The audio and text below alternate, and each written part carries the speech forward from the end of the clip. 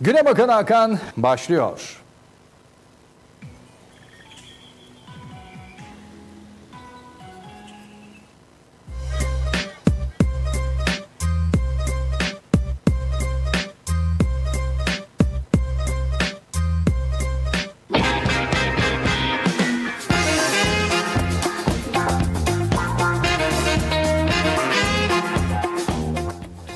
Hayatın içinden gelişmelerle hafta içi her gün biz saat tam 10'da yine SRT ekranlarında sizlerle beraberiz. Gazete manşetlerinden günün öne çıkan haber başlıklarına, siyasetten sağlığa, dünyada gelişen ve Türkiye'deki olup biten haberleri ekranlarınıza yansıtıyoruz. O zaman Güne Bakan Hakan başlıyor.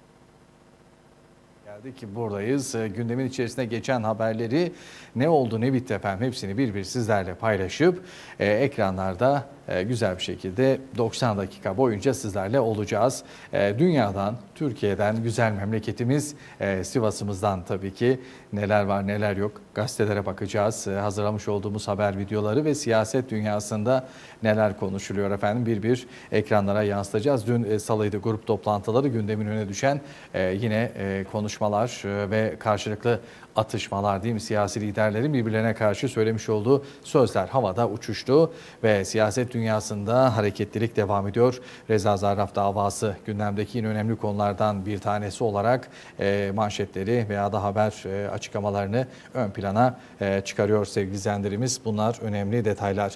E, tabii Amerika Birleşik Devletleri Başkanı Trump'ın Kudüs'le ilgili yapmış olduğu açıklamada e, siyasi liderlerimizin dilindeydi. Kudüs'le ilgili açıklamalar grup toplantılarında öne çıkan başlıklar arasında yer aldı.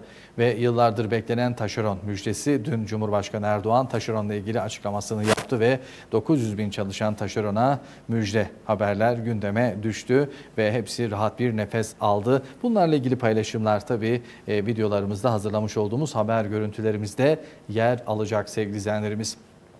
Önümüzdeki pazar günü yani bu pazar günü sayın e, sa, e, ayın 10'unda e, Sayın Cumhurbaşkanı Erdoğan AK Parti Genel Başkanı e, Cumhurbaşkanı Erdoğan Sivas'ta e, AK Parti İl Kongresi'ne katılmak üzere buraya gelecek. Yeni açılacak olan kapalı spor salonunda gerçekleşecek olan e, programda Sivaslarla bir araya gelip e, Sivas'ta e, burada tabii vatandaşlara seslenecek ve vatandaşlar da e, Cumhurbaşkanı Erdoğan'ı dinleyecekler. Ve dün Başkanlar Kurulu Ticaret ve Sanayi Odası'nda toplandı. Acaba e, Sayın Cumhurbaşkanı Erdoğan'a neler sunabiliriz, hangi dosyaları sunabiliriz Sivas için, hangi konuda yardım ve destek isteyebiliriz konusu Başkanlar Kurulu'nda dün Ticaret Odası'nda Osman Yıldırım öncülüğünde istişare yapıldı. Üç ana madde üzerinde yoğunluk kazanıldı sevgili izleyenlerimiz. Yerli otomobil fabrikası fabrikası bunlardan bir tanesi ve yine yıllardır hep dilimizde olan bir ne vardı? İkinci üniversite vardı. Bu konu yine Sayın Erdoğan'a iletileceği gündemdeki konulardan biri oldu ve üç olarak da cazibe merkezleri e, konusunda teşvik alan iller arasına Sivas'ın alınması özellikle demir yollarında ve biliyorsunuz yük vagonları Sivas'ımızda yapılıyor ama bu yönde daha önemli adımların da atılması istenecek Sayın Cumhurbaşkanı Erdoğan'dan. Bununla ilgili Başkanlar Kurulu'nda konuşulan konularla ilgili de Türk Ulaşım Sen Sivas Şube Başkanı Sayın Nurullah Albayrak'ı da ilerleyen dakikalarda bağlayacağız efendim. Telefonla programımıza bağlayacağız ve e, dün daha detaylı neler konuşuldu? Başkanlar Kurulu olarak e, acaba Sivas adına neler tabii ön planda tutulmalı? Bunları sizlere ekrandan açık bir şekilde bu bizim efendim demokrasi meydanımızdan aktaracağız, paylaşacağız. Sizin de söyleyeceğiniz varsa efendim tabii sizin de aktaracağınız, paylaşacağınız herhangi bir gündem konusu Hakan Bey bunlara da neden değinmiyorsunuz diyebileceğiniz veya da çevrenizde sizi mutlu eden veya da sizi huzursuz eden herhangi ne varsa WhatsApp hattımızda yine e, programımız içerisinde altta geçiyor. O numaralardan da videolar, fotoğraflar, duygular, düşünceler paylaşın.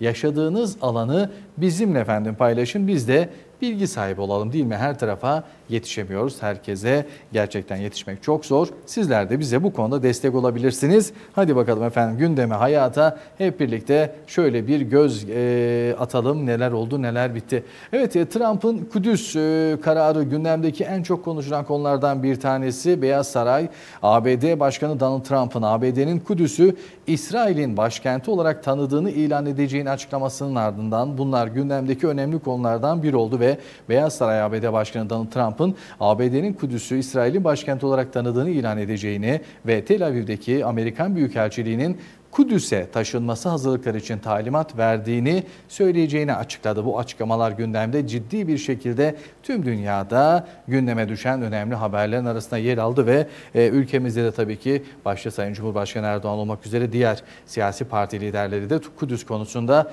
önemli açıklamalarda bulundular. E, sanırım Trump, Amerika Başkanı, Amerikan Başkanı seçimlerin yapıldığı dönemde özellikle Yahudilerden destek aldığı bir gerçekti. Belki de onlara verilen bir sözler vardı. Şimdi bunlar teker teker masaya geliyor değil mi?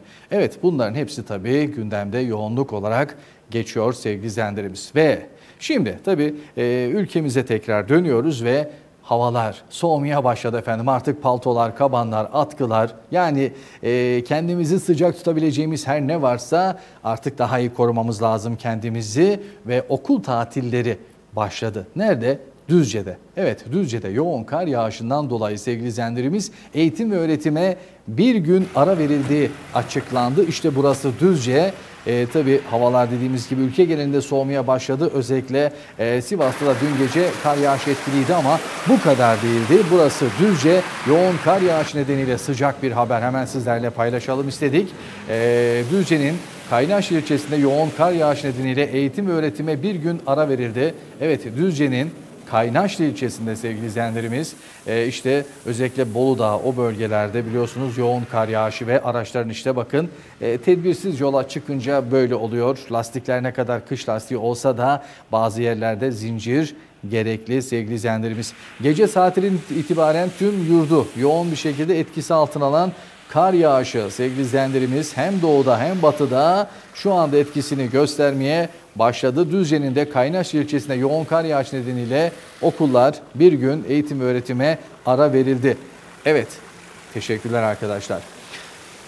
Sevgili izleyenlerimiz e, tabi Sivas'ımızda da hava soğudu ama kar yağışı çok fazla etkili olmadı. Gece bir parça etkisini gösterdi. Sabah e, uyandığımızda sadece araçların üzerinde bir e, ufak bir şekilde kar örtüsü vardı ama gece hava bir hayli soğuktu. Bu da don etkisi yaratıyor ve diyoruz ki dikkat havalar soğuyor kendimize sıkı bakalım. Evet Aralık ayı bir geldi pir geldi. Tahminlere göre hava sıcaklıkları daha da düşecek. Karın İstanbul'a da giriş yapması bekleniyor. Meteorolojiden yapılan açıklamaya göre Türkiye genelinin Balkanlar üzerinden gelen soğuk ve yağışlı sistemin etkisi altına girmesi bekleniyor. Önündeki aracın lastik izinden devam et. Tamirati takip et. Tamirati bize bakma. Buna göre önümüzdeki hafta içinde yurdun büyük bölümünde kar etkisini gösterecek. İstanbul'da da salı gününden itibaren sıcaklıkların düşmesi ve çarşamba günü ise kar yağması bekleniyor. Evet dikkat kar geliyor ve hatta geldi. Bolu Dağı'nda kar yağışı şiddetini artırdı sevgili izleyenlerimiz. İşte burası Bolu Dağı. Bolu dün başlayan e, kar yağışı Bolu'da e, şiddetini giderek artırınca tabii otoyolları, karayolları vatandaşlar için, araç şoförler için bir çile haline gelmeye başladı. Dün sabah saatlerinde başlayan yoğun kar yağışı işte caddeleri, sokakları, otoyolları bu şekilde kapladı sevgili izleyenlerimiz. D100 karayolu ve TEM otoyolu Bolu Dağı kesiminde şiddetli kar yağışı nedeniyle sürücüler zor anlar yaşadılar. Eğer yola çıkacaksanız, eğer herhangi bir şekilde şehirler arası bir yolculuk yapmayı düşünüyorsanız aracınızın tabii önce kış lastiğine sahip olması gerekiyor. Yanınızda çekme halatı, zincir ve tabii yolda güvenliğiniz için bu gerekli e, önemli şeyleri mutlaka aracınızda bulundurun diyoruz ve e, görüş mesafesi kar yağışından dolayı da her geçen gün biraz daha düşeceğe benziyor. Özellikle gece yolculukları bir hayli zor olacağı benziyor sevgili izleyenlerimiz. Aman dikkat diyoruz. Kış geldi kazalara değil mi? Daha böyle dikkatli olalım. Kaza yapmayalım efendim. Ve Kars. Kar yağışı Kars'ta etkili oldu. İşte Kars'tan görüntüler hemen ekranlara geliyor. Kars'ta sabaha karşı kar yağışı etkisini böyle gösterdi. Vatandaşlar hemen e, tabii kendi imkanlarıyla hem de belediye çalışanları caddeleri, sokakları ve kaldırımları hemen erken saatlerde kürümeye başladılar. Herkes seferber oldu. E, tabii beyaz örtü, kar değil mi? Bazı memleketlere yakışıyor. İşte onlardan biri de Kars. E, Sivas'a da çok güzel yakışıyor şu kar görüntüsü. E, biz de kar yağışını artık yavaş yavaş alacağımıza benziyoruz. E, Çünkü bugünden sonra e, kar yağışı etkili olacak. Yurdun birçok kesiminde sevgili izleyenlerimiz e, Sivas Valiliği de karla mücadele konusunda e, dün bir toplantı yaptı. Tüm müdürlüklerle Sivas Belediyesi ile birlikte e, kar yağdığı andan itibaren tabii şu anda hazırlıklar tam anlamıyla bitirilmiş durumda. Hani kar düşmeye başladığı anda bütün araçlar hem İl Özel İdaresi'nin hem de Sivas Belediyesi'nin hem de diğer karayollarının araçlarının e, bir anda sahaya çıkıp her tarafı temizleyeceği konusunda Sayın Valimiz de bu yönde açıklamaları e, yaptılar. E, tabii e, şu da bir gerçek. Ee, bazen yetersiz de kalınabiliyor. Bu durumda da vatandaşlarımızdan anlayış istiyoruz şeklinde bir çağrıda bulundu Sivas Valimiz. Efendim tabii tecrübeler, imkanlar, iş e, makinalarının değil mi şehrimizdeki hareketliliği inşallah kazasız belasız güzel bir kış geçiririz temennimiz bu. Evet havalar soğuyunca ne yapıyoruz efendim? Doğalgaz. İşte apartmanlarda hala kaloriferli binalar var. Onlar da kalorifer e, tabii yakıyorlar. Sobalı evler. Bakın bunlar da tabii çok dikkat edilmesi gerekiyor. Neden? Bacalar temizlenmezse eğer bu kışta ne yazık ki zehirlenme haberleri gündeme gelebilir. O yüzden sizler de şimdiden tedbirinizi alıyorsunuz ve karbon monoksit gazına karşı bacalar temizlensin diyoruz. Havalar soğudu, sobalar, kombiler yanmaya başladı. Bununla birlikte sessiz katil olarak adlandırılan karbon monoksit için de alarma geçildi.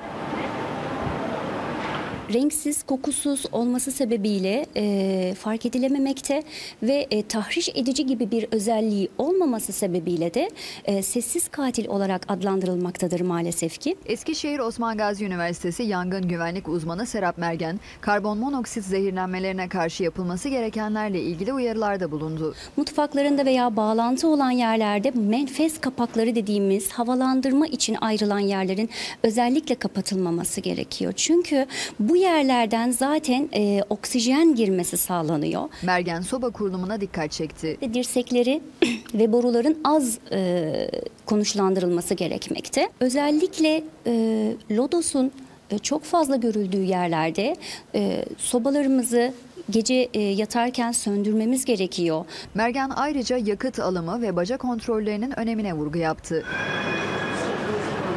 Özellikle yakıtları alırken standartlara uygun kaliteli ürün almamız, kullanmamız gerekiyor. E, bacalarımız iyi çekiş e, özelliğine sahip. Her sene kontrol, bakım ve kontrollerinin yapılması gerekiyor. Zehirlenme belirtilerini anlatan uzman Serap Mergen, doğalgaz ve şofben kurulumlarının ise mutlaka havadar alanlara yapılması gerektiğini söyledi. Sersemlik hissettik, bir baş dönmesi, hafif mide bulantısı gibi bir belirti hissettik, semptom hissettiysek mutlaka e, ortamdan uzaklaşmamız gerekiyor. Evlerimizde kullandığımız gerek doğalgaz olsun, ge- gerek banyolarımızda kullandığımız şofbenler olsun mutlaka havadar yerlere tesis edilmeli. Ee, karbon monoksit gazına dikkat. Bacaların temizliği çok önemli. Tabii gece yatarken sobalı evlerde oturan vatandaşlarımız için özellikle söylüyoruz.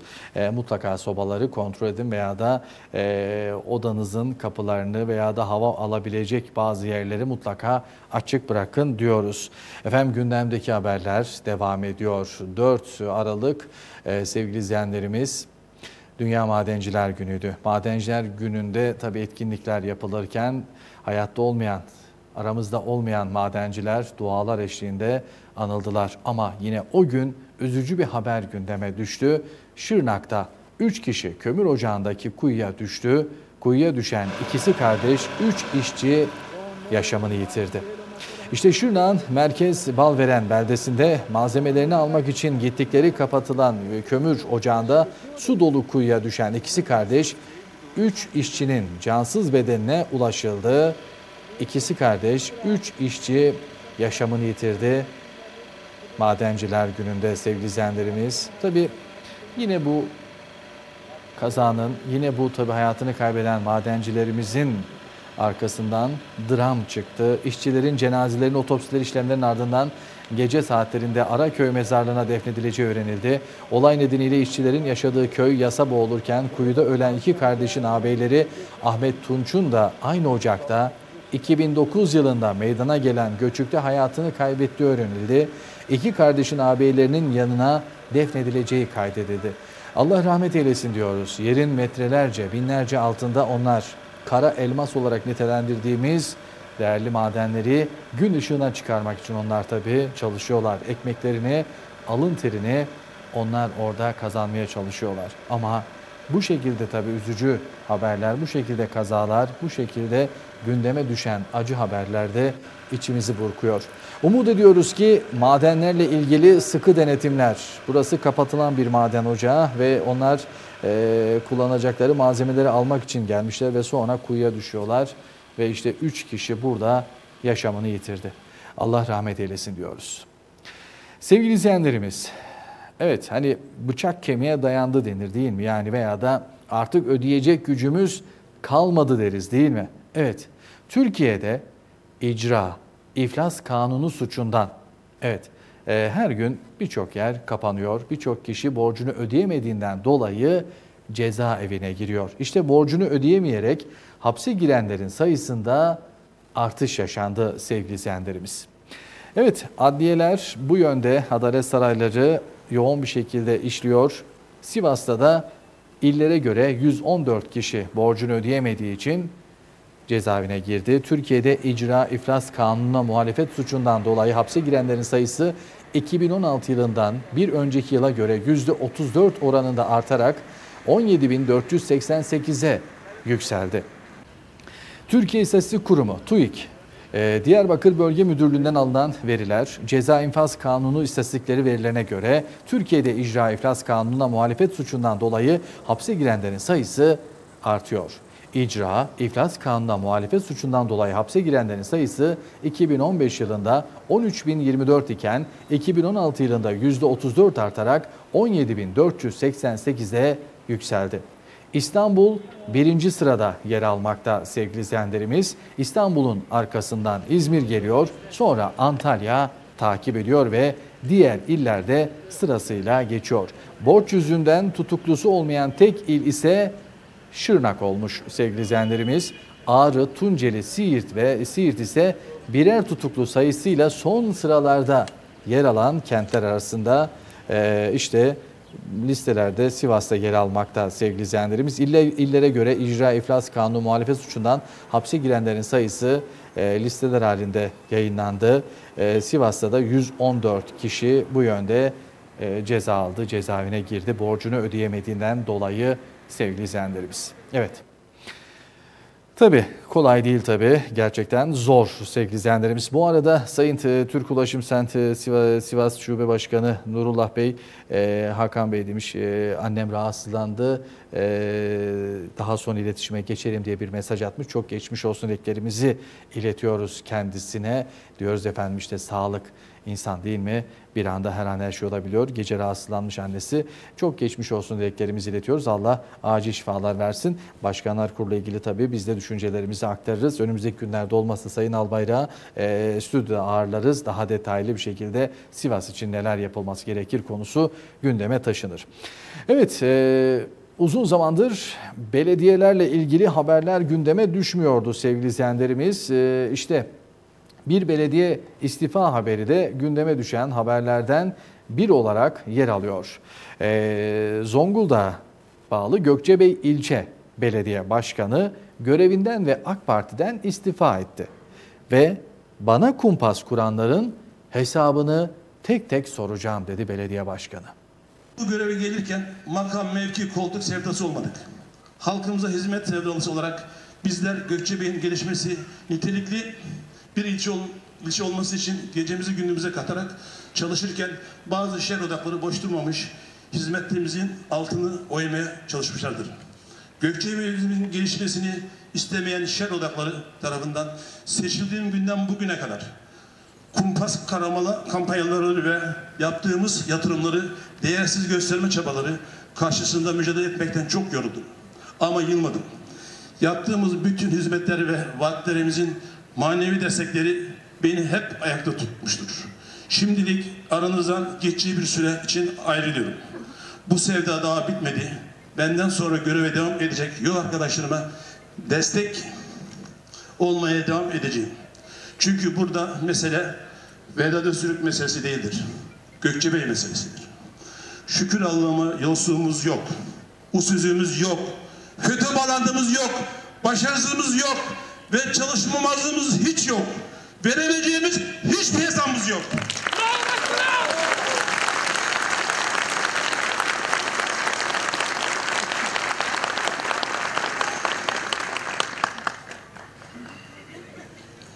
Buna rağmen AK Parti ailesi içinde siyaset yapma imkanımın kalmadığını üzülerek görüyorum. Bugünden itibaren AK Parti Belediye Başkanlığından ve AK Parti üyeliğinden istifa ediyorum arkadaşlar. Kalabalığın katılımıyla Gökçebey Belediye Başkanı hem Gökçebey Belediye Başkanlığı görevinden hem de AK Parti'den istifa ettiğini, AK Parti siyaset yapmanın yolunun kalmadığını vurguladı sevgili izleyenlerimiz. E, gündemdeki haberlerden biriydi sizlerle paylaştık. E, bakalım önümüzdeki günlerde başka belediyelerden e, herhangi bir şekilde e, gündeme düşen bir istifa haberi olacak mı? Biliyorsunuz özellikle büyük şehirlerin bazı e, şehirlerin istifa e, etme süreçleri çok sancılıydı ve Zonguldak'ın Gökçebey ilçesinde bu açıklamalar gündeme düştü. Evet. Cumhurbaşkanı Erdoğan bazı iş adamları varlıklarını yurt dışına kaçırma gayretinde şeklinde bir duyum alıyorum demişti. Hatırlarsanız geçtiğimiz günlerde yaptığı konuşmada ve AK Parti Genel Başkanı ve Cumhurbaşkanı Recep Tayyip Erdoğan Muş'ta bu sözleri dile getirmişti ve Muş'ta İl Partisi'nin kongresinde konuşurken bazı iş adamlarının mal varlıklarını yurt dışına kaçırma girişimleri olduğunu söyleyerek bazı haberler, sinyaller alıyorum. Bazı iş adamlarının varlıklarını yurt dışına kaçırma gibi gayretlerinin olduğunu duyuyorum.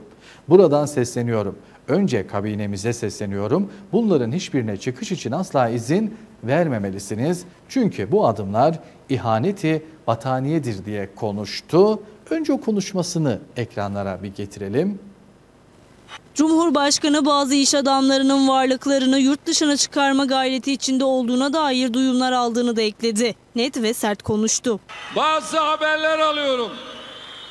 Bazı sinyaller alıyorum. Bazı iş adamlarının varlıklarını yurt dışına kaçırma gibi gayretlerinin olduğunu duyuyorum. Ve buradan sesleniyorum. Önce kabinemize sesleniyorum. Bunların hiçbirine çıkış için asla izin vermemelisiniz.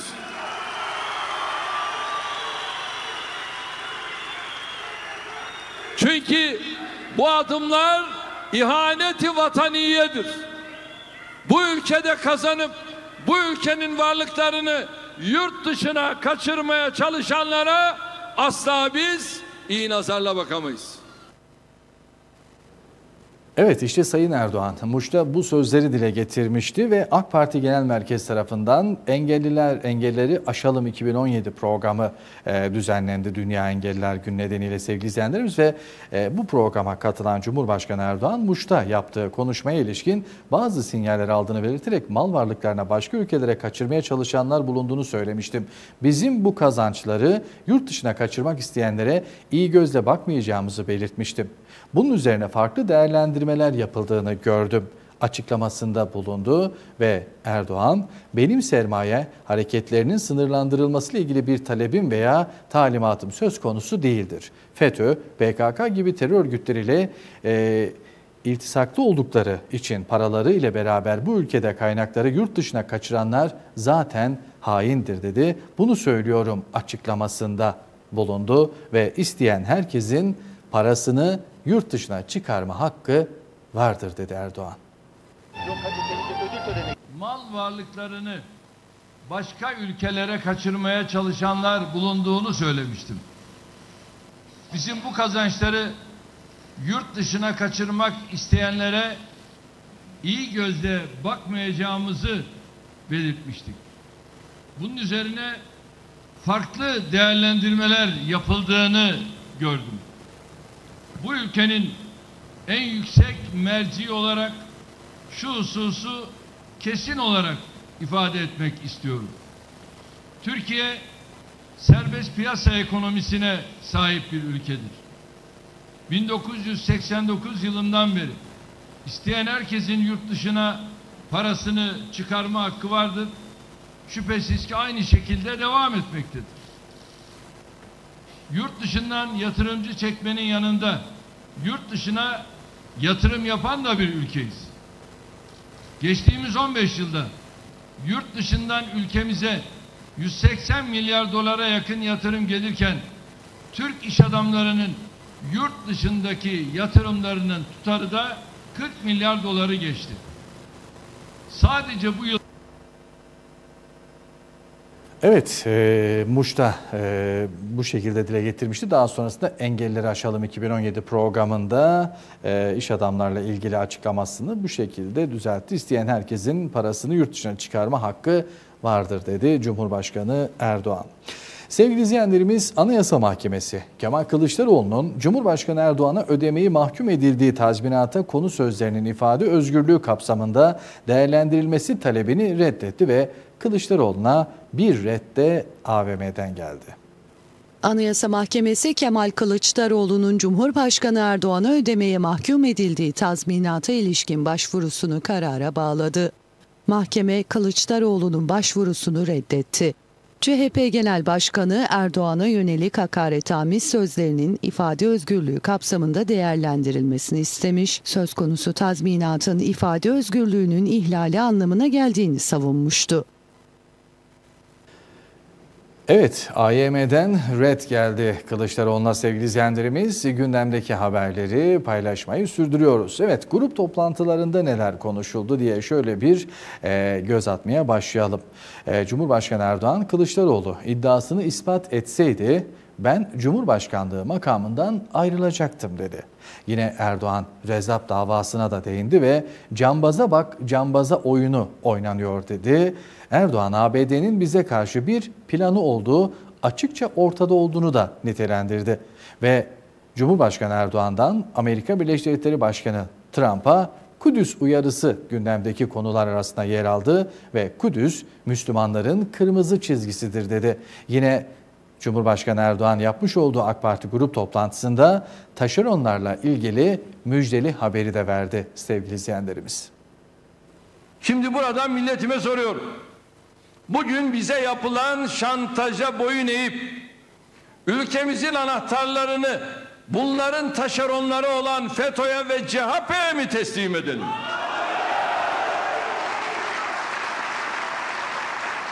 Yoksa her zaman olduğu gibi mücadele yolunu mu seçelim? Cumhurbaşkanı Recep Tayyip Erdoğan iddialarını ispat edemeyen CHP Genel Başkanı Kılıçdaroğlu'nu bir kez daha istifaya çağırdı. Şayet iddiasını ispat edebilmiş olsaydı ben Cumhurbaşkanlığı makamından ayrılacak siyaseti de bırakacaktım. Ortada bu zatın iddia ettiği gibi bir para gönderme işi olmadığına göre aynı onurlu, haysiyetli, ilkeli tavrı kendisinden bekliyorum. AK Parti Meclis Grup toplantısında konuşan Erdoğan, Amerika Birleşik Devletleri'ndeki kumpas davasına da değindi. Amerika'daki dava hukukla, adaletle, ticaretle uzaktan yakından ilgisi olmayan bir cambaza bak cambaza oyunudur. Bu oyunla bir taşla aynı anda pek çok kuş birden vurulmak hedefleniyor. Bunlardan biri Türkiye'nin tüm dikkati ve ilgisi bu davaya çekilerek Suriye ve Irak'ta ülkemiz aleyhine yürütülmek istenen projeye hız verilmek istenmesidir.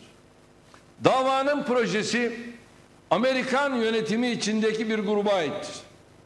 Malzemelerinin temini görevi de FETÖ'ye ve CHP'ye verilmiştir. Amerika'da ülkemizdeki 28 Şubat dönemine benzer bir süreç yaşanıyor. Kritik kademelerde söz sahibi olan eski yönetim bakiyesi bir grubun ülkemiz konusunda sandıktan çıkan Trump yönetiminin iradesine aykırı olarak bambaşka bir politika izlediği anlaşılıyor. Amerika Birleşik Devletleri'nin İran'a yaptırımlarını en başta kendi şirketleri olmak üzere Batı'nın değişik şirketleri delmiştir diye devam eden Cumhurbaşkanı bu dava Amerikan iç siyasetindeki kavganın malzemesi ifadelerini kullandı. Ortada FETÖ'nün ve ana muhalefetin güdümündeki bir takım çevrelerin iddia ettiği gibi bir yolsuzluk soruşturması, bir yolsuzluk davası yoktur. Amerika'daki davanın özünde de böyle bir iddia söz konusu değildir, zaten de olamaz. Nasıl 17-25 Aralık'ta yolsuzluk görüntüsü altında ülkemizdeki anayasal düzeni emniyet yargı darbesiyle yıkma çabası varsa Amerika'daki davada da aynı amacı uluslararası alanda gerçekleştirme niyeti vardır. Davanın iddianamesindeki komplo iddiası doğrudur. Ama bu komplo Amerika'ya değil, Türkiye'ye karşı kurulmuş bir komplodur. Erdoğan, Amerika Birleşik Devletleri Başkanı Trump'ı da Kudüs konusunda sert biçimde uyardı. Kudüs, Sayın Trump, Müslümanların kırmızı çizgisidir. Eğer böyle bir adım atılacak olursa hemen 5-10 gün içerisinde İslam İşbirliği Teşkilatı Liderler Zirvesini İstanbul'da toplayacağız. Zira sıradan bir olay değil bu olay. Amerika bütün işleri bitirdi de şimdi bu mu kaldı? Son ana kadar buradaki mücadelemizi kararlılıkla sürdüreceğiz. Kaldı ki bu bizim diplomatik ilişkilerimizi İsrail'le koparmaya kadar da gidebilir. Cumhurbaşkanı konuşmasının sonunda taşeron işçilere müjde verdi. Kamudaki 450 bin ile belediyeler ve il özel idarelerindeki 400 bin işçimiz çalıştıkları yerlerdeki belediye iktisadi teşekküllerinde istihdam edilecekler. 23 bin mevsimlik işçilerin halen en fazla 5 ay 29 gün olan çalışma süreleri de 9 ay 29 güne kadar çıkartılabilecek. Yine kamuda 4C statüsünde çalışan kardeşlerimiz de 4B kadrosuna alınıyor. Böylece kamuoyumuzda uzun zamandır tartışılan bu meseleyi kökten çözmüş oluyoruz. Evet işte e, Sayın Erdoğan grup toplantısında konuşmasından bazı bölümleri sizler için derledik sevgili izleyenlerimiz. E, Birçok konulara da açıklık getirmiş oldu ve e, konuşmasının belki en önemli kısımlarından bir tanesi taşeron işçilerin beklemiş olduğu müjdeydi. Hayırlı uğurlu olsun diyoruz.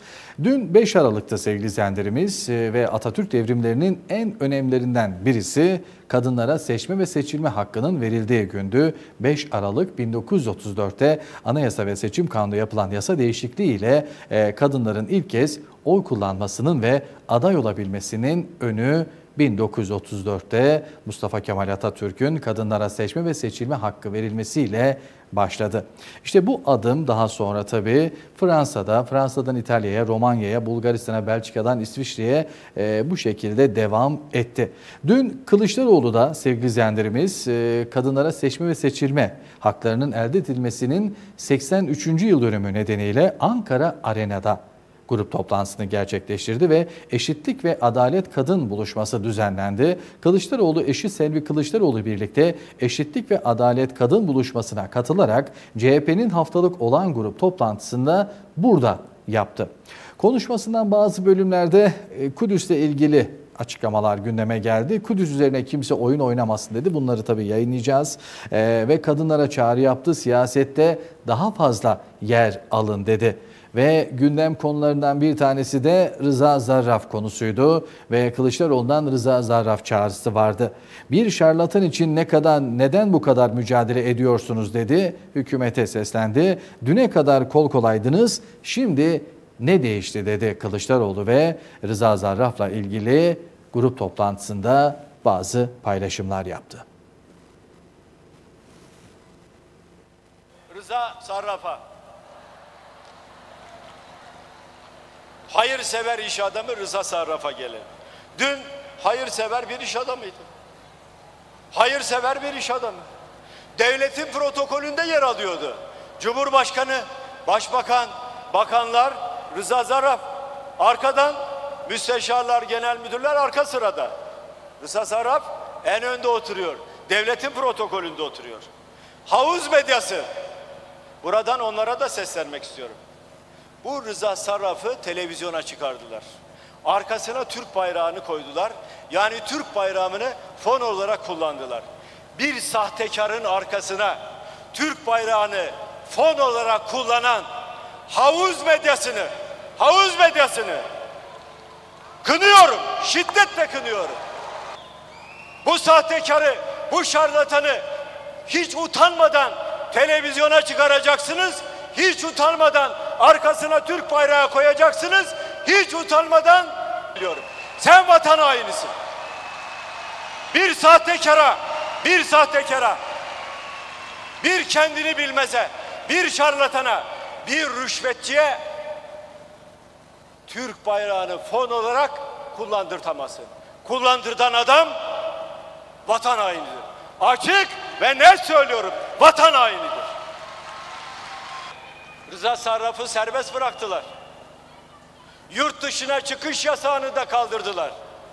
İbrahim Kaboğlu gibi dünya çapında bir bilim adamını yurt dışına çıkarmazsın. Rıza Sarraf gibi sahtekarı, şarlatanı el üstünde tutar ve yurt dışına gönderirsin. Ya bu nasıl devlet anlayışıdır? Bu nasıl vatan? Şeref, şeref madalyası tak, takılacak kişiyi Amerika hapse attı. Türkiye'de şeref madalyası takacaktık. Amerikalılar hapse attılar. Nota verdik iki sefer. Şimdi AK Partili kardeşlerimin vicdanına sesleniyorum. Bir sahtekar için, bir şarlatan için, bir rüşvetçi için iki kez nota veren hükümet Amerika'ya iki kez nota veren hükümet Kuzey Irak'ta askerlerin başına çuval geçirdiğinde bir nota bile vermedi. Şimdi bakın değerli arkadaşlar. Rıza Sarraf sahtekardır ama devletin sırlarını da parayla alan birisidir. Devletin sırlarını parayla alan birisidir. Şimdi ben sana gözlerinden öpüyorum Erdoğan demeyip de ne diyeyim Allah aşkına? Ne diyeyim ben sana?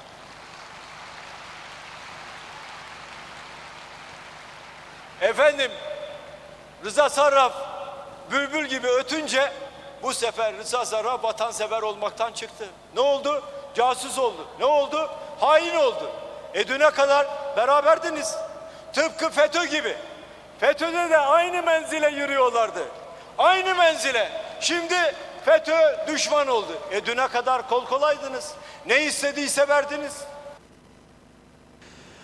Evet Rıza Zarraf konusunu bu şekilde ele aldı Kılıçdaroğlu sevgili izleyenlerimiz. E, tabii süremiz yeterse Kudüs'le ilgili de açıklamaları var onları da paylaşacağız. Ama hemen Milliyetçi Hareket Partisi grup toplantısına dönelim sevgili izleyenlerimiz. Milliyetçi Hareket Partisi Genel Başkanı Devlet Bahçeli grup toplantısında gündeme dair e, paylaşımlar açıklamaları oldu. Özellikle son dönemlerde Milliyetçi Hareket Partisi ile ilgili bazı gündeme düşen haberler, kulaktan dolma bazı konular gündemde e, Sayın Devlet Bahçeli'nin dilindeydi. Neymiş efendim? MHP ne derse o yapılıyormuş. MHP iktidara yön veriyormuş şeklinde sorular gündemde konuşulan bazı kulaktan kulağa dön duyulan sözlerdi. İşte bunlara açıklık getirdi MHP Genel Başkanı Devlet Bahçeli ve kürsüden buradan sesleniyorum dedi. AKP'nin bir kısım milletvekili ve yöneticisi kaygılanmasın, korkuya kapılmasın dedi sevgili izleyenlerimiz ve Türkiye Cumhuriyeti'ni yöneten Cumhurbaşkanıdır, Başbakandır, Bakanlar Kuruludur ve mesai arkadaşlarıdır. Bunlar da görevlerinin başındadır dedi MHP lideri. Partimizle ilgili kurcalama yapan, dedikodu ser, sermayesi üreten çevreler yalanlarına yalan katarak ortalığı karıştırmaya çalışmaktadır. Neymiş? MHP ne derse o yapılıyormuş. MHP iktidara yön veriyormuş. Aslı yok yaylasında 1500 koyundan bahsetmek boş bir hayaldir. Altını kalın olarak çiziyor ve buradan sesleniyorum. Adalet ve Kalkınma Partisi'nin bir kısım milletvekili ve yöneticisi kaygılanmasın, korkuya kapılmasın. Beyhude yere onun bunun tezvirlerine aldanmasınlar. Türkiye Cumhuriyeti'ni yöneten Cumhurbaşkanıdır, Başbakandır, Bakanlar Kuruludur ve mesai arkadaşlarıdır. Bunlar da görevlerinin başındadır. Milliyetçi Hareket Partisi şu an için üstlendiği muhalefet görevini 36 milletvekiliyle en etkili şekilde icranın milli bekamıza, milli tezlerimize, milli hedeflerimize destek vermek için her mücadele ve fedakarlığı yerine getirmenin amacındadır. Evet sevgili izleyenlerimiz MHP Genel Başkanı Sayın Devlet Bahçeli partisiyle ilgili bazı söylemler gündemde dolaşıyor dedi. Buna açıklık getirdi. Kimse kaygılanmasın dedi sevgili izleyenlerimiz. E, bunlar gündeme düşen grup toplantılarıydı. Yine tabii grup toplantılarıyla ilgili e, diğer bölümleri de sizlere e, paylaşacağız sevgili izleyenlerimiz.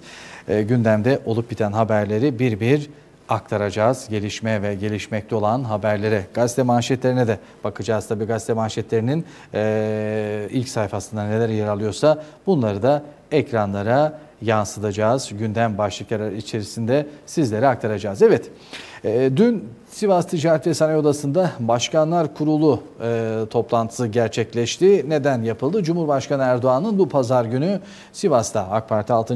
Genel Kurul e, Kongresi'ne katılacak ve e, kongreye geldiğinde Sayın Cumhurbaşkanı Erdoğan'a Sivas'ın ihtiyaçları, Sivas'ın bazı tabi e, konularda e, faydalanması yönünde adımların atılması için e, isteklerde bulunacak ki bu tabi liderler şehre geldiği zaman başkanlar bunu çoğu defa dile getiriyorlar. Bazı, bazı istekler yerine getirildi. Bazıları hala getirilmedi. E, dün konuşulan konuların genel anlamında 3 madde üzerinde yoğunluk yaşandı ki işte bunlardan bir tanesi e, hepimizin dilinde olan yerli otomobil konusu.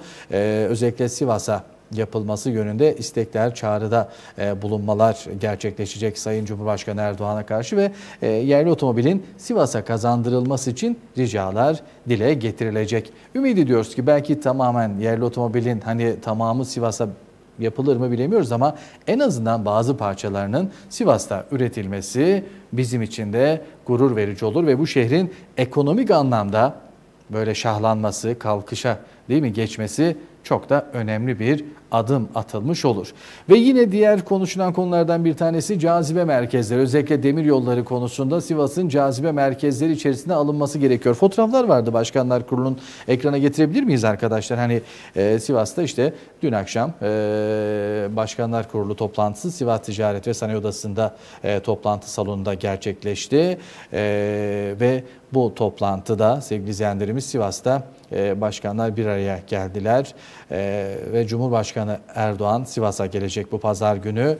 Ve işte Sayın Erdoğan'a, Sayın Cumhurbaşkanı'na e, Sivas'la ilgili neler e, sunum yapılabilir, Sivas'la ilgili neler bu şehre kazandırılabilir? Bunların tabii sunumu yapılacak. İşte e, görmüş olduğunuz gibi e, her kesimden başkanlar dün TSO'da toplantı salonunda e, Başkanlar Kurulu toplantısı gerçekleşti. E, yerli otomobil üzerine yoğunluk vardı tabii. İkinci üniversite konusu ve cazibe merkezleri teşviği. Bunlar çok önemli konular. Yani özellikle ikinci üniversite konusu yıllardır bizim e, en çok istediğimiz, en çok dile getirdiğimiz konulardan bir tanesi ve e, bir diğer konuda özellikle hayvancılık ve tarım konusu Sivas'ın da hayvancılık konusunda önemli merkezlerden biri haline getirilmesi de yine e, toplantı içerisinde konuşulan konulardan e, bazılarıydı sevgili izleyenlerimiz. Şöyle ekrana bölebiliriz. Birkaç tane de slide görüntüsü vardı. Onları da e, ekrana taşıyabilirsek arkadaşlar. Evet işte Tamam şöyle bakalım biz de. Ee, görmüş olduğunuz gibi dün Ticaret ve Sanayi Odası'nda toplantı salonunda Başkanlar Kurulu gerçekleşti. İşte ee, teşvikten faydalanmak adına sevgili izleyenlerimiz gerçekten Sivas e, geçtiğimiz yıllarda biliyorsunuz teşvik konusunda e, önemli bir şekilde yerimiz vardı ve yeniden e, bu yönde işte cazibe merkezi haline getirilmesi ve teşvik kredisini Sivas'ın da hak etmesi gerekiyor ki sadece demiryolu yatırımlarına özel teşvik istiyoruz. Yani demiryolunun daha da çok geliştirilmesi adına e, şehrimizde Tüdemsaç'ta şu anda yük vagonları özellikle yapılmakta ve yük vagonlarının ana merkezinin tamamen bura olması değil mi? Bunu aslında ön plana çıkarmak gerekiyordu. İşte dün Başkanlar Kurulu'nda bunlar ön planda konuşuldu. Ee, hükümetimiz tarafından Sivas Milli Yük Vagonu Üretimi Merkezi olarak e, açık e, açıklanmıştır. Bu nedenle demiryolu sektöründe yapılacak yatırımların 23 ilde uygulanan cazibe merkezi teşviklerinden e, faydalandırılmasını talep ediyoruz. Bakın demiryolları üzerine talep cazibe merkezi konumuna alınması yönünde yük vagonları önemli bir ihtiyaç. E, biliyorsunuz e, Eskişehir'de de e, bu yönde üretimler gerçekleşiyor. Bir de Adapazarı'nda e, Sivas'ta yük vagonu konusunda e, en baş illerden biri olması adına cazibe merkezleri içerisindeki bu özel imkanlardan faydalanması gerekiyor. Evet diğer bir konu tabii ikinci üniversite konusu. Yıllardır biliyorsunuz e, şehrimizde Hani üretim anlamında, ekonomik anlamda şehrin e, lokomotiflerinden biri de şu anda mevcut üniversitemiz Cumhuriyet Üniversitesi. E, 50 binin üzerinde çalışanıyla, öğrencisiyle beraber e, bir kesimi oluşturmakta. İkinci bir üniversitede yıllardır bizim hayalimizde top etüyle başladı. Bu hatta yeri, arsası, arazisi tahsis edilmişti ama sonrasında ne yazık ki herhangi bir gelişme olmadı. Ama bu sefer e, Sayın Cumhurbaşkanı Erdoğan bu pazar günü e, AK Parti İl Kongresi'ne katılacak ve işte bu katılımda kendisine sunumlar, anlatımlar, Sivas'la ilgili yapılması gerekenler, Sivas'ın daha iyi şekilde ekonomik anlamda şahlanması, canlanması anlamında istekler. İşte onlardan biri de ikinci üniversitenin Sivas'a kazandırılması değil mi? E, tabii zor şeyler değil aslında bunlar. İstemek lazım. İstediğimiz şeyleri de iyi bir şekilde takip etmemiz gerekiyor ee, ve bu da üniversitede yıllardır bizim isteklerimiz arasında geçiyor ki hepiniz buna zaten yakından şahitsiniz. Özellikle 10-12 e, yıldır değil mi? Hep konuşuluyor, hep gündemde oluyor. Ee, üniversite anlamında bir adım atılmasını her zaman istedik. Bakın e, daha önceden Sayın Başbakan Binali Yıldırım gelmişti. Eski stadyumun yeri ne yapılacağı konusunda bir e, gündemde çok şeyler konuşuluyordu. Orası açık alan park yapılsın denildi, bir meydan yapılsın denildi. Onunla ilgili işte eski stadyumun yeri yıkımlar başladı. Orası bir e, açık alan olarak netleşti. Yani liderlerin kürsüden halka seslendikleri anda söyledikleri, verdikleri o cümleler, o mesajlar hepimiz için çok önemli. Ve yerli otomobil konusu. Türkiye'nin birçok ilinde yerli otomobil için bütün iller seferber olmuş konumda ama e, yer tahsisi konusunda bakın Sayın Valimiz 2. OSB'nin tamamını yerli otomobil fabrikası için tahsis edebiliriz şeklinde çeşitli açıklamalarda bulundu, yazışmalarda bulundu. E, bu yönde de Sayın Valimize teşekkür ediyoruz. İşte e, Sivas Belediyesi'nin açıklamaları, oda başkanlarının açıklamaları bunların hepsi peşi sıra geldi. Evet Sivas'ta da e, yine e, bir otomobil parçasının kam mil olarak en önemli mil parçası da e, dünyadaki sayılı fabrikalardan biri de Sivas'ımızda yer alıyor ki işte o fabrikanın da burada olması, TÜDEMSAŞ'ın da burada olması bizim için en önemli kazanç ve arazimizin diğer illere nazaran değil mi? Hazır durumda olması bizim için büyük bir avantaj. Ama hani e, bunu siyasi liderler, bu işin tabii en başında olan kişiler, yatırımı en doğru bir şekilde nereye yapılabilecek yönünde adım atacak kişiler bunların söyleyeceği sözler çok önemli.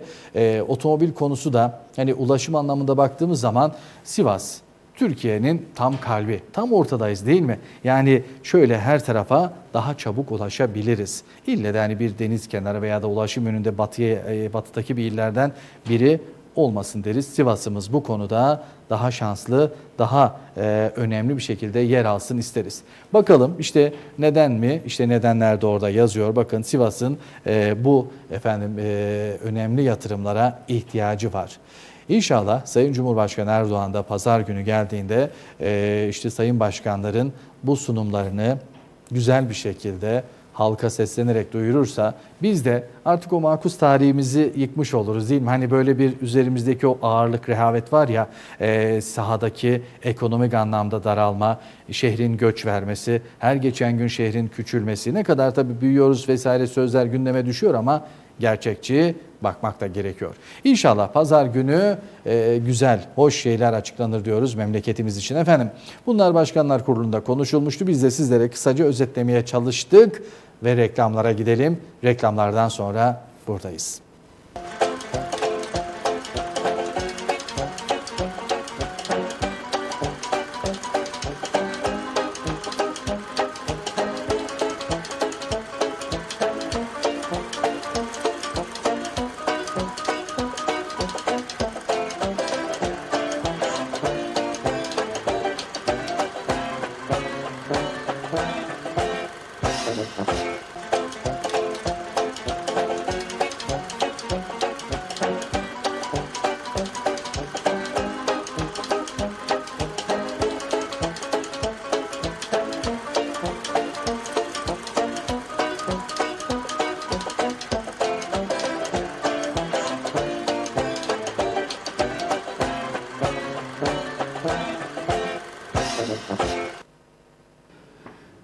İzleyenlerimiz kaldığımız yerden devam ediyoruz. Güne gündeme hayata haberler efendim hep birlikte bakmaya devam edelim. Gündemdeki haber başlıklarında neler varsa gündeme taşıyoruz. Ee, Gündem başlıklarını e, sizlerle bir bir paylaşmayı sürdürüyoruz sevgili izleyenlerimiz. Ee, Öne çıkan haberlere tabii kaldığımız yerden devam edeceğiz. Ee, Yayınlayacağımız daha haber videoları var, gazete manşetleri var ve bu son yarım saatte de e, ülkenin, dünyanın e, öne çıkan haber başlıklarına sizlere buradan e, aktaralım. Gündem başlıklarını tekrar şöyle bir gözden geçirmeye devam edelim sevgili izleyenlerimiz.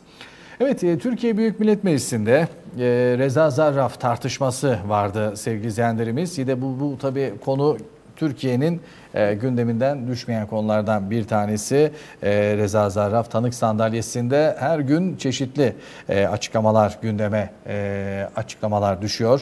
E, hakim ve savcıların karşısında sorulara bir bir cevap veriyor Reza Zarraf. E, bu da önemli konuları gündeme getiriyor. İşte bu konularda tabii mecliste e, CHP'li ve AKP'li vekillerle Reza Zarraf tartışmasını daha da çok ateşliyor sevgili izleyenlerimiz.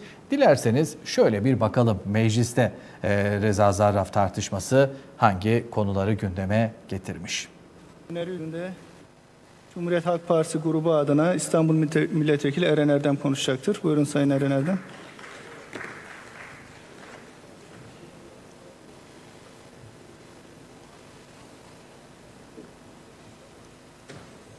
Süreniz 3 dakikadır. Buyurun lütfen. Sayın Başkan, değerli milletvekilleri, yolsuzluk Türkiye'de çok üzerine konuşulan bir mesele. Ama bir de görmezden gelme. Ya, Sayınmış, Safsataysa Milli İstihbarat Teşkilatı Başkanını görevden alın. Yetkiniz var. MIT raporundan bahsediyoruz biz burada. MIT raporu. Safsataysa eğer bu bir palavraysa, eğer size bu söylenmemişse, eğer bu belge sahteyse MIT başkanını görevden alın. Ya adamı milletvekili yapmak için, adamı milletvekili yapmak için neler yaptınız? Ne mücadele ettiniz? Bu kadar sevdiğiniz, bu kadar saydığınız bir adam. Getirin kardeşim, getirin. Görevden alın eğer bunlar sahteyse. Ha, buyur gel. Vereyim Müdahale- sana. müdahale Al etmeyelim bak, arkadaşlar. Gel bak, gel vereyim sana. Her yerde var her yerde. Aç internete gir bak her yerde var her yerde. Onu bana sormayacaksın sen. Onu bana sormayacaksın. Sürekli diyorsunuz ki kim verdi ne var? Ya sen içeriğine bak içeriğine. Reza Zarrab'ın bugün bu işleri yapacağını size 17-25 Aralık'tan 8 ay önce MİT söylemiş mi? Söylemiş. Ne yapmış? Şu tarihlerde bakın 21 Kasım'daki grup toplantılarında vergi cennetlerinde bir şirkete milyonlarca dolar para gönderdiklerini biliyor musunuz diye soru soruyor. Daha sonra daha sonra ki grup toplantısında da bu sefer isim vererek söylüyor. Şu tarih diyor ki 15 12 2011 tarihinde isim veriyor, miktar veriyor, para gönderdi diyor. Şimdi bakın bu ifade ettikleri grup toplantısında söylediklerini ispatlamak zorundalar. Bu açık bir yalandır dedik. Getirin diyorum belgeleri halen verirseniz açarız. Ispatladığınız bakın bakın değerli milletvekillerim değerli milletvekillerim dağıttıkları belgelerde kendileri de çok iyi biliyor. Bu grupta ekonomist olan var, bankacı olan var, hazinede üst düzey görevde bulunanlar var. Onlara gösterseler o kağıtlarda ne olup ne bittiğini bilirler. Giden tek kuruş yok. Fakat grup toplantısında o şekilde iddia edildi. Hatta hatta Swift ile alakalı şu tanımlama diyor. Swift nedir bilir misiniz diyor. Bankalara sorduk. Yurt dışına dolar gönderirken bu mesajı gönderiyorsunuz. Arkadaşlar Swift yurt içinde farklı iki banka arasında dolar veya döviz transferi yapıyorken de kullanılır. O değil yani sadece yurt dışına gönderilen bir şey değil. Bunları ispatlasınlar. Ispatlamayan müfteridir, yalancıdır. peş peşe hükümetin başbakanının ve bu iktidarın genel başkanının çocuklarıyla ilgili ve kendilerinin açıklamalarıyla ilgili kamuoyunu bilgilendiriyoruz. Başbakanın çocuklarının offshore şirketleriyle ilgili ilişkisi olup olmadığını gündeme getirdik. Sorduk. Belgelerini yayınladık. Bu grupta birazcık vicdanı olan insanların suratları kıpkırmızı bizi izlediler. Bu ülkenin başbakanı çıktı dedi ki konu getirilsin araştıralım sonuna kadar arkasında duracağım dedi. Türkiye Büyük Millet Meclisi'ne getirdik. Başbakanın verdiği emri yerine getirmeyerek grup kararıyla reddettiler ve başbakanın offshore ülkelerinde vergi kaçıran çocuklarının belgelerinin araştırma önergesi bu grupta reddedildi. Şimdi Cumhurbaşkanının çocukları, Cumhurbaşkanının damadı, Cumhurbaşkanının özel kalem müdürü, Cumhurbaşkanının dünürü Man Adası'nda, Man Adası'nda siz burada konuşun, onlar malı götürsünler. Orada şu kadar bir odanın içerisinde iki tane şirket kuruyorlar. Kurdukları iki tane şirkette bir tanesi Belvey şirketi, bir tane de de şirketi. Bumeret şirketinin baş harflerinden sonuna kadar gidersen Cumhurbaşkanının ailesinin oğlundan eniştesine kadar gidiyorsun. Eniştesi öğretmen, bisikletçi, daha önceden bursla okuyan oğlu milyonlarca doları bir sterlinlik şirketten Halk Bankası'ndaki Belvey hesabından bu kişilerin hesaplarına milyonlarca dolar aktarmış. Hiç mi yüzünüz kızarmıyor? Bu milletin çocukları ilim ilim inlerken sizin damadınız enişteniz, dünürünüz milyonlarla oynarken bunun hesabını veremiyorsunuz. Şimdi diyor ki gelmiş diyor. Şimdi bak şimdi gelmiş diyor. Allah sana yardım etsin. Vallahi hangi durum içinde HDP HDP'ye verdiğiniz destekle alakalı içinizin sızladığını biliyorum. Engelleyememişsiniz. Sen önce onlara bir cevap ver. Şimdi değerli milletvekilleri, değerli milletvekilleri ne diyorlardı? 15 Müdahale 12 etmeyelim 2011 lütfen sayın tarihinde şu kadar para gitti. Bakın halen getiremiyor. Şimdi diyor ki gitmedi diyor geldi diyor. Dolayısıyla iki dakika içerisinde bu kadar hızlı fikir değiştiren bir partinin ortaya atacağı hiçbir iddiayı dikkate almıyoruz. Onu söyleyeyim. Bu kadar. Bakın bir Swift belgesini bile okumaktan aciz, okumaktan aciz, ne okuduğunu bilmeyen birilerinin iddiaya or- ortaya atacağı iddialar ortaya atacağı iddialar değerli milletvekilleri bizim için yok hükmündedir. sallayacakları kağıtlar bundan sonra yok hükmündedir. Çünkü gösterdikleri, iddia ettiklerini ispatlayamayan bir partidirler. Yani yalancıdırlar, iftiracıdırlar. Halen diyorum ki getirin hangi tarihlerde giden rakamların Swift mesajlarını getirin buraya. Getiremiyorlar. Şimdi ne oldu mesele? Şimdi diyor ki bu kadar para gelmiştir. Dolayısıyla kendi içerisinde bu kadar çelişkili, kendi içerisinde bu kadar tutarsız ve kendi içerisinde bu kadar birbirini doğrulamayan beyanın olduğu bir ana muhalefetin iktidar olarak bize söyleyeceği hiçbir şey yoktur. Bundan sonra gündeme getirecekleri ve söyleyecekleri iddialar ya da kağıtlar bizim gündemimizde dikkate alınmayacaklardır. Bizim için yok hükmündedir. Bundan sonra genel kurulu ve milletimizi bu boş, altyapısı ve karşılığı olmayan iddialarla meşgul etmeyeceğimizi ifade eder. Genel kurulu saygıyla selamlarım. Evet işte mecliste zarraf konusu gündemin önemli konularından bir tanesiydi efendim. Tansiyon yükseldi, sesler yükseldi. Karşılıklı tabii atışmalar e, AK Partili ve CHP'li milletvekilleri arasında yaşandı. Efendim bakalım memleketimizde manşetlerde neler var? Gündeme bir de Sivas'ımızın gazete manşetleriyle bakalım istiyoruz. Şimdi manşetler gelsin. Güne bakan Hakan. Bakalım dünyadan gündemden haberleri sizlerle paylaştık ve güzel memleketimiz Sivas'ımızda acaba gelişen haberlerde neler var? Hemen şöyle bir memleket havası yapalım.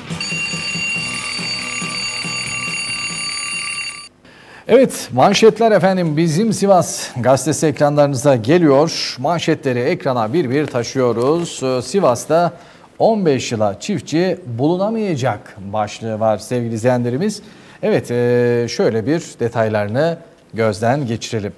Sivas'ta son 10 yılda kırsal nüfusun 60 bin kişi azalmasını değerlendiren Ziraat Odası Başkanı Hacı Çetindağ, Konya tarım ile kalkışmış, e, kalkınmış ama Sivas kalkınamamış. Evet yani e, Sayın Hacı Bey çok doğru bir cümle dile getirmiş. Biz e, o ortaokul yıllarımızda değil mi e, kitaplara baktığımız zaman İç Anadolu bölgesinde Konya ile Sivas hep tarım ve hayvancılık üzerine kalkınan, geçimini, ekmeğini yiyen iller arasındaydık ama işte bakın Sivas'ta 15 yıla çiftçi bulunamayacak diyor Sayın Hacı Çetindağ. Konya diyor tarım ile kalkış e, kalkınmış, Sivas kalkınamamış. Köylerdeki insanlarımız artık para kazanamıyor. Çiftçiliğini tam yapamıyor. E, eğitim durumları var. Gençlerimiz köylerde sosyal faaliyet sorunları var diyor. Böyle olunca ne yapıyorlar? Şehre göç etmek zorunda kalıyorlar. 15 yıl sonra emin olun köylerimizde insanlarımız çok çok çok azalacak demiş. Sivas'ta çiftçilik yapacak kimse e, bulunamayacak açıklaması Hacı Çetindağ'dan gündeme düşen e, manşetlerde yer alıyor. Göçün nedenlerini de anlattı. Çözüm önerilerini sunmuş Sayın Çetindağ. Köylerde insanımızı tutmak çok zor. Artık şehirlerde tutmak çok zor. Yani bırakın e, köyleri çünkü e, küçük şehirlerde bile insanlar umutlarını hayallerini daha iyi şartlarda yaşayabilmek anlamında ekonomik anlamda kendilerini bir daha özgür e, konuma getirmek adına daha büyük şehirlere kaçıyorlar, göçüyorlar değil mi? İşte köylerden önce merkeze, işte bizim köylerimizden, ilçelerimizden önce Sivas'a geliyorlar. Baktılar Sivas'ta istediklerini bulamadıkları zaman ne yapıyorlar? Bir büyük şehre, bir büyük şehre derken daha sonra en büyük okyanusa yani en büyük şehre gidip orada hayatlarını kazanmaya çalışıyorlar. Yani çiftçinin gerçekten e, daha iyi şartlarda desteklenmesi lazım. E, bu yönde daha sağlıklı adımlar atılması, teşvikler veriliyor, krediler veriliyor ama e, sonuç itibariyle ithal, saman ithal, işte şu anda et ithal olarak giriyor ülkemize. Kendi çiftçimizin yükselmesi için adımlar atılması gerekiyor. Ziraat Odası Başkanı Sayın Hacı Çetindağ da bunu gündeme taşımış. Üniversiteliler işleyişi yerinde gördü. İl Genel Meclisi Aralık ayı meclis toplantılarının ikinci oturumu dün gerçekleştirildi. Sivas İl Özel İdaresi Meclis Toplantı Salonu'nda Ferhat Ünsal Başkanlığında start alan oturuma Cumhuriyet Üniversitesi Yıldızeli Meslek Yüksekokulu Yerel Yönetimler Bölümü öğrencileri katıldı. Öğrenciler meclisi e, işleyişi yerinde e, gördüler. Taşeron'da detaylar belli oldu. Cumhurbaşkanı Erdoğan yaklaşık 900 bin taşeron işçiyi ilgilendiren düzenlemenin detaylarını dün grup toplantısında açıkladı. Biz de haberlerimizde sizlerle paylaşmıştık. E, grup toplantısında yapmış olduğu konuşmada yaklaşık e, 900 bin çalışanı ilgilendiren kamuoyunda taşeron olarak bilinen a, alt işveren işçilerle ilgili düzenlemeye de değindi Sayın Erdoğan. Vali Davut Gül tecrübemiz ve iş makinelerimiz var. Çalışmalarımız gece gündüz demeden alı elimizden geldi gelen her şeyi yapıyoruz dedi. Ama kar yağ, yağdığı zaman aynı gün kalkmadığı zaman vatandaşlarımızdan da bunu anlayışla karşılamalarını istiyoruz dedi sevgili izleyenlerimiz.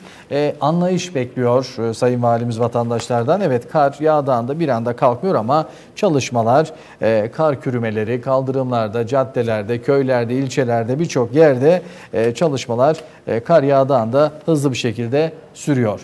Evet bunlar öne çıkan manşetler. Diğer gazetemize bakacağız sevgili izleyenlerimiz. E, bakalım hakikatteki manşette neler var? Yollar, e, yolları açık tutun e, talimatı. 10 Aralık uyarısı. Vali Gül özellikle 10 Aralık pazar günü gelecek Cumhurbaşkanı Erdoğan için kırsaldan gelecek vatandaşların ulaşım zorluğu çekmemesi için gerekli tedbirlerin alınmasını istedi. Ee, Cumhurbaşkanı Erdoğan'a vatandaşların e, daha sağlıklı katılabilmesi için yolların açılması yönünde 10 Aralık uyarısı yolları açık tutun manşeti geçiyor Hakikat gazetesinde sevgili izleyenlerimiz. Yerel yönetim öğrencileri meclis salonunda incelediler. Cumhurbaşkanı Erdoğan'dan taşerona kadro müjdesi ve taşeron sevinci yaşandı ülkemizde sevgili izleyenlerimiz. Hayırlı uğurlu olsun diyoruz ve Erdoğan 900 bin taşeron işçinin bulundukları yerde kadro olacaklarını belirtti. Çalışma Bakanı Jülide Sarıyeroğlu da tüm geçişleri 3 ay içinde tamamlamayı planladıklarını e, vurgu yaptı. CHP Merkez İlçe Basın Sözcüsü Nilgün Korkmaz, kadınların seçme ve seçilme hakkı kazanmasının 83. yıl dönümü basın e, açıklamasıyla e, kutlama yaptı ve daha güçlü ve aydınlık yarınlar için öncü olmaya devam edeceğiz dedi kadınlar olarak açıklamalar bu yönde geçiyor. Şehit Aileleri ve Gaziler Sosyal Yardımlaşma ve Dayanışma Derneği Başkanı Mustafa Hızal, Cumhurbaşkanı Erdoğan'a kamuda hizmetli olarak çalışan gazilere memurluk yolunu açan düzenleme ile ilgili teşekkür etti. Bir teşekkür, bir talep başlığı geçiyor manşette. Cumhuriyet Kadınları Derneği Yönetim Kurulu üyesi Selma Kuşkuş, Türk kadınına seçme ve seçilme hakkı verilmesinin 83. yıl dönümü dolayısıyla yaptığı basın toplantısında Türk kadınlarına bu hakları birçok ülkeden önce veren atamıza e, bize armağanıdır açıklaması var. E, Kadem'in Sivas ordusu diyor. Şu Genel Başkan Semra Yıldız'ın katılımıyla açılan Kadın ve Demokrasi Derneği Sivas temsilciliğinde görev alan kadınlar e, isimleri belli oldu. E, Kadem güçlü kadrosuyla çalışmalarına başladı. Lider hazırlıkları sürüyor. Spor Toto Süper Lig'in 15. haftasında 30 puanla lig lideri Medipol Başakşehir Spor'u konuk edecek Demir Grup Sivas Spor'da bu maçla ilgili hazırlıklar sürüyor sevgili izleyenlerimiz. Ee, Cumhurbaşkanı Erdoğan'ın da bu maça katılacağı yine e, konu e, gündem konuları arasında yer alıyor pazar günü bu karşılaşma. Memleket Sivas ekranlarınızda müftülükten 120 bin liralık burs başlığı var. Sivas Hizmet Vakfı'nın 5 bin lisans öğrencisine burs kampanyasına Sivas Müftülüğü'nden 120 bin liralık destek geldi ve İl Müftüsü Recep Şükrü Balkan müftülük çalışmalarının bağışlarını Vali Davut Gül'e teslim etti. Allah kabul etsin diyoruz ee, ve burs kampanyası işte Sivas Hizmet Vakfı nezdinde sürüyor. Her sene e, birçok öğrenciye burs veriliyor sevgili izleyenlerimiz. Sivas Devlet Tiyatrosu 4 ayrı sahnede perde açacak gündem başlıklarında. Pazar günü Sivas'a gelecek olan Cumhurbaşkanı Recep Tayyip Erdoğan'ın yeni 4 Eylül stad, stadının resmi açılışını yapılacağının duyulmasının ardından stattaki eksikliklerin de e, iletilip iletilemeyeceği merak konusu oldu. Biliyorsunuz stadyum geçtiğimiz sene teslim edildi ama ne yazık ki bazı sorunlar, aksaklıklar yaşandı, eksiklikler var. Bunların Sayın Erdoğan'a iletilip iletilemeyeceği merak konusu olarak gündemde konu başlığı olarak düşmüş haberde. Dünya üzerinde gördüğünüz her şey kadının eseri. Cumhuriyet Halk Partisi Merkez İlçe Başkanlığı basın sözcüsü Nilgün e, Korkmaz Cumhuriyet Devrimi ile birlikte söz hakkı olmayan kadınlara geniş haklar tanındığını söyledi. 5 Aralık'ta kadına seçme ve seçilme hakkının verilmesinden dolayı da e, bu açıklamalar gündemde yer alıyor sevgili izleyenlerimiz. Cumhurbaşkanı eksiklikler söylenecek mi diyor Cumhurbaşkanı'na. Son sayfasında bu manşet geçiyor memleket Sivas'ın. Pazar günü Sivas'a geliyor Sayın Cumhurbaşkanı Erdoğan ve e, yeni 4 Eylül Stadyumu'nun resmi açılışını yapılacağı duyurmasının ardından e, stat'taki eksikliklerin iletilip iletilemeyeceği de merak konusu oldu. Memleket Sivas'ta manşet böyle. İrade Gazetesi'ne bakıyoruz. Kışa hazırız. Evet kar efendim geldi artık kapımızda. Ee, tecrübemiz, iş makinalarımız ve tüm kurumlarımızla kışa hazırız açıklamaları gündemde yer alıyor. Kış mevsiminin gelmesiyle birlikte ilimiz genelinde karla mücadelede alınması gereken tedbirlerle ilgili toplantı yapıldı. Ee, Sivas'ta kar mücadelenin oldukça zor olduğunu belirten Vali Davut Gül, e, yağan bu karı birkaç saatte e, ortadan kaldıramayacağımızı bilmek lazım. Burada belli önceliklerin olması gerekiyor. Na- Nadir e, nedir bu öncelikler? Doğumu var, hastası var, kaza, bela, afet meselesi var diyor. Okul servislerinin gidip geldiği yerler mi? Buralar önceliğimiz, tecrübemiz ve iş makinelerimiz var.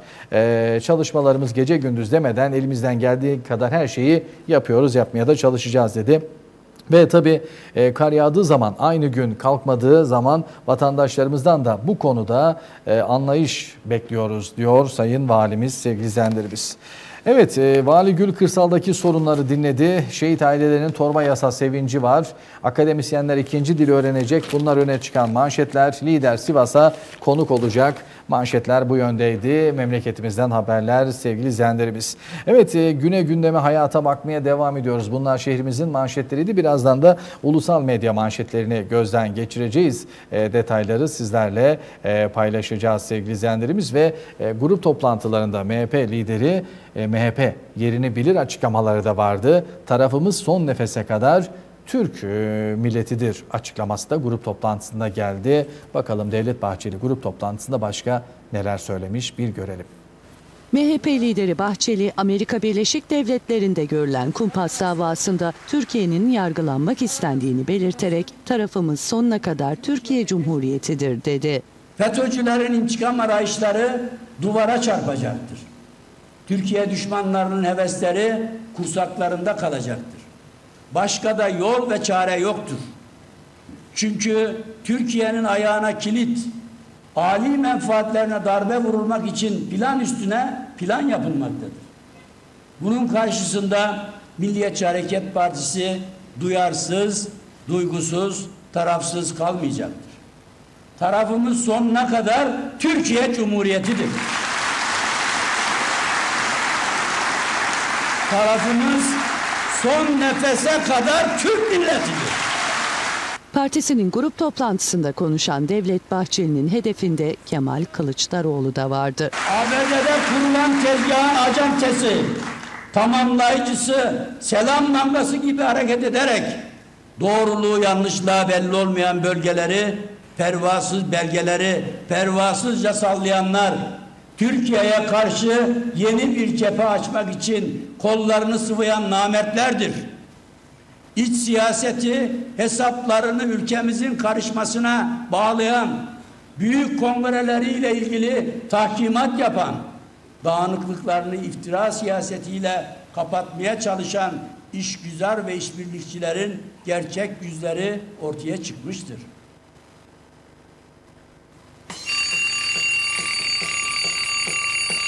Hayatın içinden gelişmelerle gündemdeki haberlerimize şimdi gazete manşetleriyle devam ediyoruz. Efendim günün öne çıkan haberlerini artık son dakikalardayız. Ee, Bir de manşetlere bakalım. Gazetelerde, ulusal medyada bugün manşetler acaba neyi yansıtmış? İşte sabahın manşeti 900 bin işçiye kadro müjdesi günün manşetinde yer alıyor. Detayları şöyle bir gözden geçirelim. Efendim e, Cumhurbaşkanı Erdoğan bu meseleyi kökten çözdük. Hayırlı olsun diyerek taşeron işçilerin kadro düzenlemesini açıkladı grup toplantısında. Kamudaki 450 bin taşeron çalışana kadro verilecek. Belediye ve il özel idaresindeki 400 bin işçimiz de çalıştıkları yerlerdeki belediye iktisadi teşebbüslerinde kadrolu istihdam edilecek dedi. Mevsimlik işçilere de ek süre 23 bin mevsimlik işçinin halen en fazla 5 ay 29 gün olarak çalışma süreleri 9 ay 29 güne çıkarılabilecek. Kamuda 4C statüsündeki olan kardeşlerimiz de 4B kadrosuna alınıyor sabahta manşet. Erdoğan'ın açıkladığı düzenlemenin ayrıntıları şu şekilde. 3 ay içinde tamam. Yasa çıkınca kadroya geçiş 3 ay içinde tamamlanacak. Yaş ve eğitime bakılmayacak. Emeklilik yaşı gelip e, primi eksik olan da geçebilecek. Asıl iş yardımcı iş ayrımı yapılmayacak. Askerde doğum izninde olanlar da yararlanacak. Kıdem için izin hakları korunacak. İşte bunlar günün manşetlerinde yer alıyor. Bizi susturmaya gücün yetmez. CHP lideri zıvanadan çıkıp turkuaz medyayı urganla tehdit etti. Buradan ilan ediyoruz sabah gerçekleri yazmaya devam edecek dedi. Kılı- Kılıçdaroğlu'nun e, grup toplantısında Reza Zerrab'ı geçtiğimiz yıllarda Türk bayrağında e, arkasına fon olarak çıkardığı günlere değindi. İşte e, bizi susturmaya gücün yetmez manşeti de sabahta geçiyor. ABD tezgahının acentesi namertler başlığı yer alıyor. MHP lideri Bahçeli'den Kılıçdaroğlu'na sert sözler gündemdeki öne çıkan manşetlerde geçiyor. Diğer gazete ekranlara geliyor. Hemen e, sözcüye bakıyoruz sevgili izleyenlerimiz. Elimizden geldiği kadar bütün gazeteleri tabii ekranlara yansıtmaya çalışıyoruz. Ee, görüş farklılıkları, herkesin düşüncesi ekranda görsün diyoruz. ABD'deki mahkemede gözünün içine baka baka konuştu. Zarrab bütün suçu Hakan Atilla'ya attı. Kara paradan yargılanacağı davada tanık olup Türkiye'de rüşvet dağıttığını itiraf eden Zarrab, Halkbank eski müdürü Atilla'yı suçladı. Günün manşetinde geçiyor sevgili izleyenlerimiz. Atilla'nın avukatlarınca sorgulanan Reza Zarrab işlediği suçlardan 150 milyon dolar kazandığını söyledi. Savcı dün son kez Reza Zarrab'a sordu. Çağlayan ve Halkbank'ın eski müdürü Arslan ile 17 Aralık'tan sonra görüştüğün Halkbank'ın yeni müdürü de sistemin içinde miydi? Savcı Zarrab'ı sıkıştırdı. ABD'deki dava uluslararası bir darbe girişimidir. Erdoğan AKP grubunda Zarrab'ın itirafçı olduğu davayı böyle tanımladı. Bu girişimin göbeğinde FETÖ'nün olduğunu söyledi. Bu komplo Türkiye'ye karşı kurulmuştur dedi. İşte bu açıklamalar gündemde. AKP'liler için Reza'yı anlama kılavuzu çıktı. Muhalefetin Zerrab eleştirilerine AKP'den broşürlü yanıt geldi. Medya Başkanlığı 17 sayfalık ABD'deki davayı anlama kılavuzu yayımladı sevgili izleyenlerimiz manşette geçiyor. Kemal Kılıçdaroğlu'ndan iktidara Reza Zarrab çağrısı kendi pisliğimizi kendimiz temizleyelim. CHP lideri Razap'ın itiraflarından sonra Türkiye'deki dosyanın yeniden açılmasını isteyip şunları söyledi. Sayın Binali Yıldırım'a açık çağrı yapıyorum. Türkiye ile ilgili davanın ABD görü, ABD'de görüşülmesi beni rahatsız ediyor. Gel Binali Yıldırım parlamentoyu harekete geçirelim, dosyayı yeniden açalım, soruşturma komisyonu kuralım dedi. İşte bu çağrı Kılıçdaroğlu'ndan geldi. Bir zamanlar Rus ve Kübalı sporcular yapıyordu. 11 milli folklorcumuz Macaristan'a iltica etti sevgili izleyenlerimiz. Ankara'da bir derneğe üye 16 folklorcu gri hizmet pasaportuyla Kasım başında Budapeşte'ye gitti. Ekipten sadece 5 kişi döndü. 11 folklorcumuz iltica etti Macaristan'a. Bu da gündemde e, geçen manşetlerde yer alıyor sevgili izleyenlerimiz. Evet diğer gazetemiz ekranlara geliyor. Evet Milliyet gazetemize bakıyoruz. Kırmızı çizgi Kudüs. E, Trump'ın açıklamalarından sonra Kudüs'le ilgili açıklamalar gündemde yer alıyor. ABD'ye çok sert mesajlar veren Cumhurbaşkanı Erdoğan, Kudüs'ün İsrail'in başkenti olarak tanınması girişimine ilişkin Kudüs Müslümanların kırmızı çizgisidir dedi. Trump'ı uyardı. Manşetler gündemde. Zarrab davası da e, Cumhurbaşkanı Erdoğan'ın açıklamalarında yer alıyor. Cumhurbaşkanı Erdoğan grupta konu başlıklarıyla şunları kaydetti. ABD'deki dava bir cambaza bak oyunudur.